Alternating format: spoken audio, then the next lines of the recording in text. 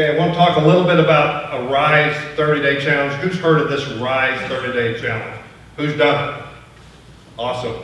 So this is a program uh, that um, uh, Chris Stefanick has created, and, it's a 30-day thing. Me and Bob are going through it right now. It's a wonderful program. We're going to show a video of one of, of one of the days of that program. If you want to do it, I highly recommend it.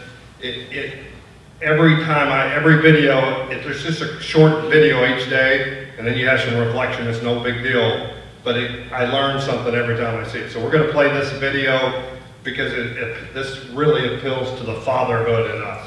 So let's go ahead and play. Growing up, my image of fatherhood, of course, came through my dad, and in a in a step off from his dad, and that image for me of, of a father of of um, of my dad was a harsh one. He was a strong figure. He was a bit distant and a little bit stoic. So for me, I just was longing for something a little bit more close, but it was something that he, based on his experience, couldn't give me. My mother had uh, her issues, my father had his issues, but when the marriage kind of fell apart, it was just a couple years into the divorce that my father suffered two major strokes and was completely debilitated.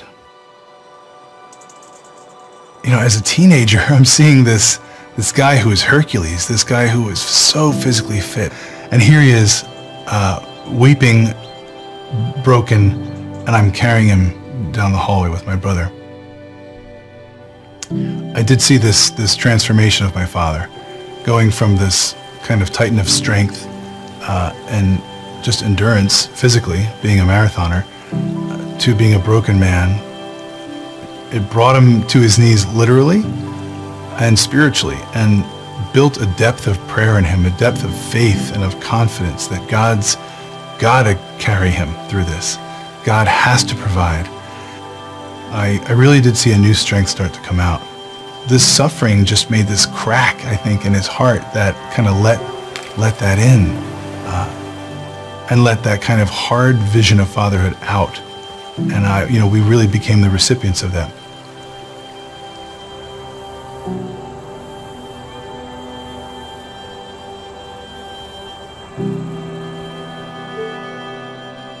Rebecca and I were married and we had expectations of really living out what marriage is all about.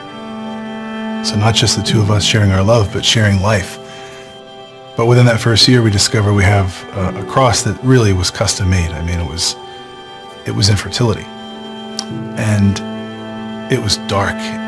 Every month, you know, Rebecca, her, her, her time would come, the blood would flow, and there'd be no life. And it came to be, it was a male factor, infertility. So for me, as a man, not being able to give Rebecca what she's dreamed of for, you know, since the fourth grade, it was, it was such a stab to the heart.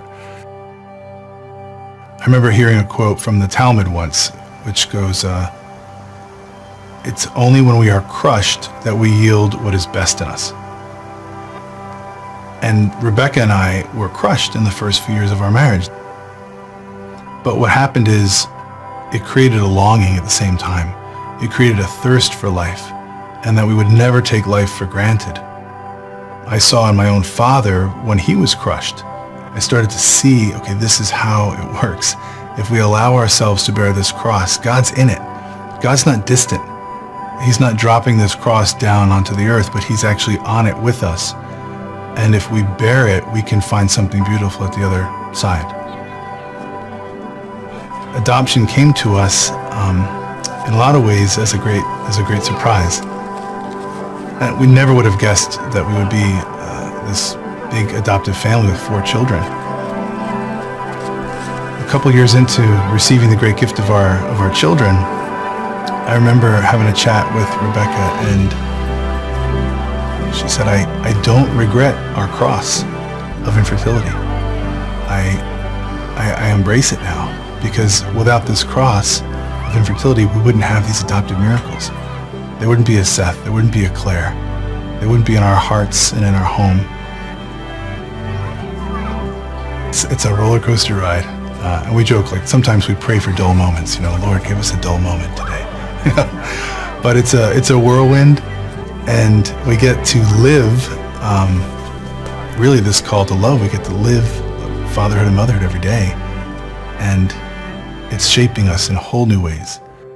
I do feel sometimes deeply, a lot of times, my own inadequacy. You know, who am I? How can I do this? And uh, the answer is I can't. I can't do it without the Father, without the Heavenly Father. If, if I'm not turning my face to Him, I can't, I can't do it. There's moments when I'm being dad and I'm trying to discipline the kids maybe and it's just all heck's breaking loose. I mean, I'm constantly learning, growing, being stretched. But um, I think I, I'm taking with me what I've experienced and what I've learned from my father, and I'm I'm trying to uh, to breathe that into my home. Uh, I'm trying to to be that firm structure that I think our kids need, and I think a father provides, you know, through uh, his strength. But I know that at the same time, it can't just be those bones. It can't just be that cold structure that, say, my grandfather gave to my father because he was aching for the heart. Just listen. Just be present. Be their father. Be the steward of these little hearts. That's my vocation. Fatherhood is for every man. Single, celibate, uh, married. It's the full flowering of a man. That uh, when a man has matured and grown and when he walks into a room, he's attentive a man is called to be a steward, a custodian, and a guardian of life and of the family, and that's what the world's hungry for. It's in us. It's in us. And the more we open up to the Father, the more we understand who we are, and we have the power to, to live it. Dad, he's coming close on to 70 now. We see him uh, not as often as we'd like. And, uh, you know, after a couple of pints and it's time for bed, we um, we say goodnight and it's just awesome. He'll give me a big hug and he'll say, I love you, kiddo. And I, it's four words, but those are four words he never got his whole life. And um, he's almost trembles when he says it. And for me, uh, I get it. And I know that I will never not say that to my kids. A man has got to say it. A man's got to say, I love you. He's got to lead with that love. You've got to be the dynamic love.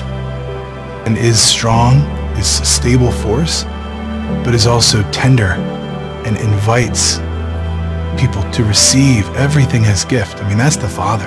And I've got to do my best to be that face of the Father. There's so much power to a man who can not be afraid of being powerless before God, who can, who can get on his knees and that's how the battle's won. So I want to say thanks, Dad.